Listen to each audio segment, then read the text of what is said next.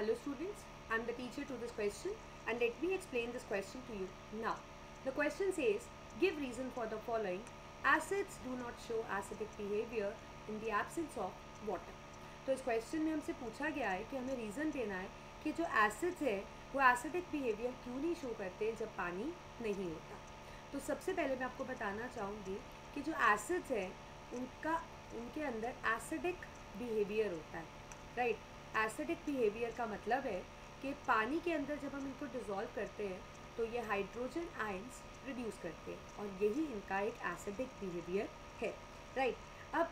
Absence of water में ये acidic behaviour इसलिए शो नहीं करते हैं क्योंकि एसिड्स पानी अगर नहीं होगा so they will not get dissociated वो टूटेंगे नहीं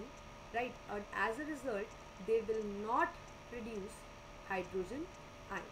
they will not produce hydrogen ions अब अगर हाइड्रोजन आइंस प्रोड्यूस ही नहीं करेंगे so that means they will not show the acidic behaviour वो एसिडिक बिहेवियर शो नहीं कर पाएँगे. तो एसिड आइंस प्रोड्यूस करने के लिए what they need they need water right तो एसिडिक बिहेवियर तभी शो होगा अगर वाटर है. So that means final answer हम समझ कर सकते हैं कि acids do not show acidic behaviour in absence of water because in absence of water they fail they fail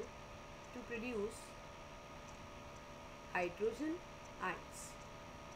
That's all the explanation to the question.